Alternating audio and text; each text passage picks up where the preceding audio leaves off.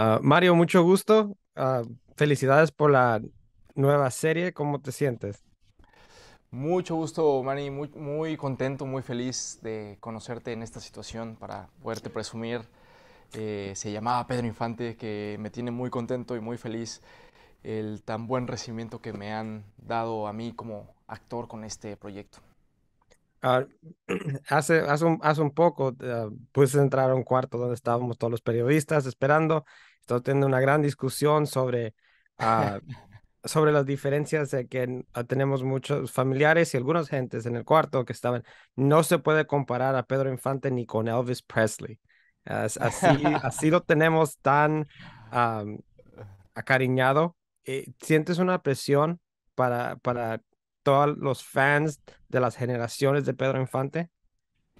Hasta ahora ya, hasta ahora ya siento la presión. He comentado hace ratito que que esa fue yo creo que lo que me ayudó a poder eh, dejarme fluir en, el, en ser con seguridad Pedro Infante en mi, en mi creación, en mi ficción, en mi interpretación, que estoy seguro que obviamente no soy Pedro Infante, no lo voy a hacer igualitititito, pero eh, mi gran trabajo era el reto de que creyeras que era un Pedro Infante, eh, destacando los adjetivos más importantes de su personalidad, eh, que era el carisma, el, ser esta luz, esta magia, es algo que yo estaba convencido que es lo que tenía que lograr hacer para que la gente pudiera conectar, se pudiera empatizar y, decir si es Pedro Infante.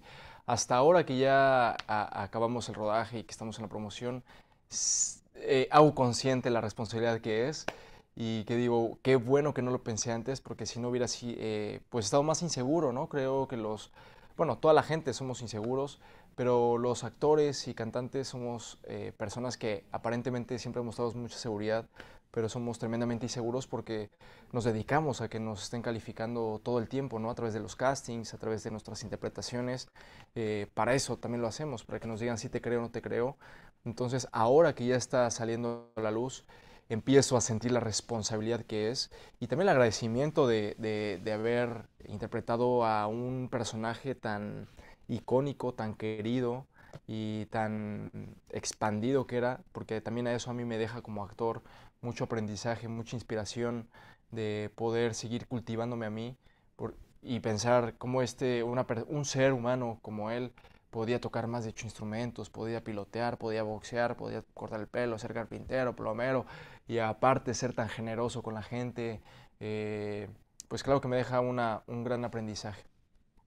Sí, e, eso es, eso es lo más interesante, yo creo, de, de los actores, que me encanta ah, tener conversaciones con ustedes, es ese estudio que tienen que tener para, tan, para todos los personajes, porque si uno trabaja en un banco, uno trabaja en una oficina, no, no, la verdad no, no, no viaja alrededor del mundo y en diferentes épocas, porque te tocó ir a otra época de México para y ver cómo era, aprender más cómo era el entretenimiento en ese entonces.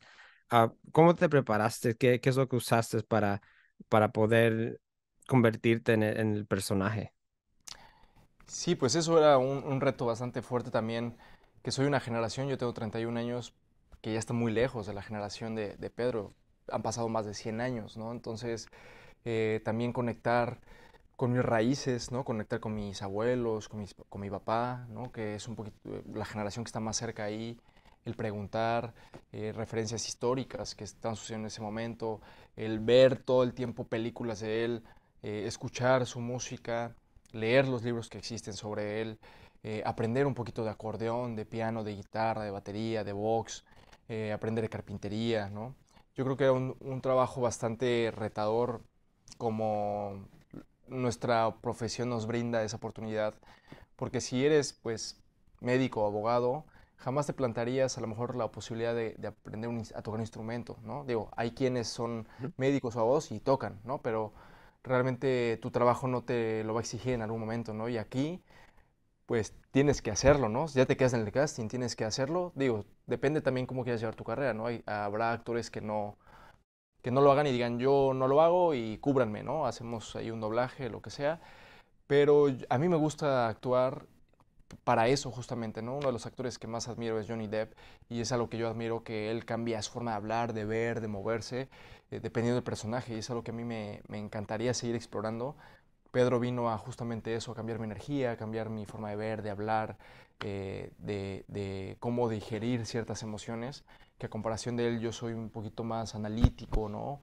Estoy analizando qué va a pasar si yo hago esto, si no, y él era más... Eh, eh, desfachatado, ¿no? O sea, él iba y ya después si la regaba, pues ya estaba pidiendo perdón, pero él no pensaba tanto las cosas, ¿no? Entonces, eh, es algo que a mí me enamoró de esta profesión y que agradezco que me haya llegado un personaje como Pedro para poderme retar, ¿no? No, sí, y, es, uh, es parte de, del trabajo de ser más auténtico y, y apreciamos mucho que, que, te empeñas tanto en, en tratar de, de aprender igual y ver qué difícil era probablemente para él. También te, también te quería a, preguntar, trabajando con Ana Claudia Talcón, quien, quien, quien fue, hizo el personaje de, de María, uh, María Luisa, uh, ¿cómo, ¿cómo fue con ella? ¿Cómo fue la química en, en, en el set? Pues eso, esa es otra parte que me siento tan afortunado y tan agradecido de poder haber compartido créditos con actores tan buenos, tan reconocidos, ¿no? que en algún momento a mí me gustaría tener una carrera como la de ellos, que no nada más era Ana, ¿no? sino también era Julio Bracho, que me, me gusta ponerlos al, en palabra, ¿no? porque merecen todo mi, mi admiración, mi reconocimiento, Leticia Huijara, Julieta Burrola, eh, Juan Carlos Remolina, ¿no? que son eh, actores que sin duda me dieron este eh, soporte, ¿no? Me acobijaron y fueron unas personas que siempre por ejemplo, con Julio, ¿no? Yo llegaba y le decía, hermano, por favor, eh, dime si de repente tú ves que la estoy regando, ¿no? Eh, dime, oye, Mario, no, aquí bájale o aquí te falta. Y él se reía y me decía, ya lo tienes, ¿no? Disfrútalo. Y eso lo agradezco muchísimo que, que con la experiencia que tengan me hayan dado ese apapacho en cómo me trataban, eh, en los ánimos que me echaban las porras, porque sabían realmente pues el reto que, que representaba esto, ¿no? Entonces, para ti, este proyecto ya completo, ¿qué es lo que, qué es lo que se te va a quedar contigo en, para el futuro? Eh, no sé qué vaya a pasar con esto, pero estoy disfrutando mucho el proceso, ¿no? Eh, todos los comentarios tan positivos que me, que me echan. Eh, ahí es cuando confirmo que todo lo que hice, ¿no? Yo, soy, yo solo sé todo lo que le puse el corazón, el esfuerzo que, que me exigía a mí y ver que se pudo sentir, eso me tiene a mí muy agradecido. A mí me encantaría seguir trabajando, actuando eh, fuera del país de México. Me encantaría trabajar en España, en Madrid, en, Madrid, en Colombia, en Argentina. Eh, no sé, me encantaría, no, no, tengo todavía la experiencia, me encantaría eso. Ahorita ya empecé el lunes a grabar una novela, próximamente no puedo decir cuál es, todavía no me dejan, como siempre, pero eh, bueno, no sé qué siga, pero sin duda creo que este proyecto me, cambia la vida a mí para, para bien eh, en mi exigencia como actor, ¿no? Porque ya hice un trabajo tan arduo que todos los demás merecen pues el mismo empeño, ¿no? por supuesto, pero aunque no sabemos lo que queda en el futuro, lo que sí sabemos es que Mario Morán, Pedro Infante. Eso es por gracias. Mario, muchas gracias por su tiempo.